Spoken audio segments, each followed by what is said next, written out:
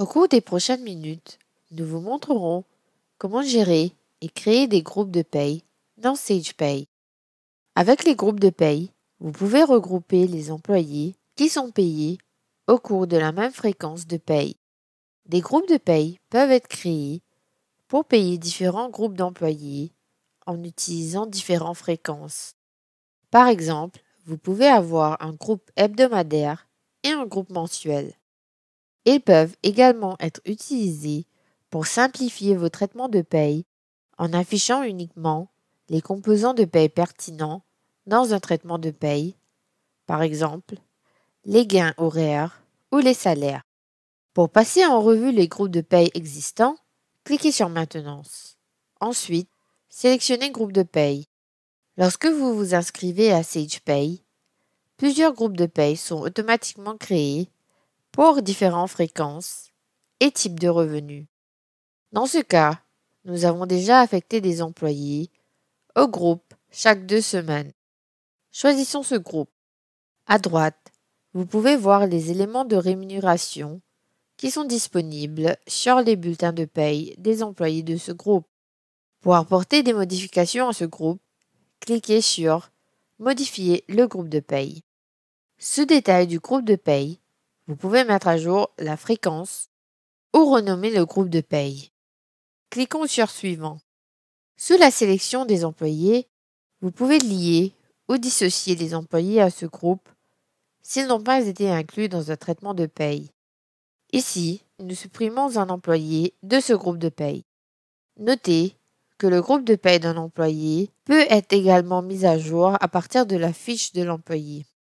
Cliquons sur Suivant. Ce détail du modèle de paye, vous pouvez utiliser le signe plus pour ajouter de nouveaux revenus, avantages ou déductions. Vous pouvez ensuite choisir si vous ajoutez un composant existant ou un composant de paye personnalisé tel qu'un deuxième type d'heure régulière. Vous pouvez également supprimer un composant en utilisant ce symbole à côté de celui-ci. Pour ce groupe, nous n'utiliserons pas le gain de commission et nous le supprimons du modèle. Lorsque vous êtes prêt, cliquez sur Enregistrer. Ensuite, cliquez sur Continuer. Pour ajouter un groupe de paye en plus des groupes prédéfinis, cliquez sur Ajouter un groupe de paye.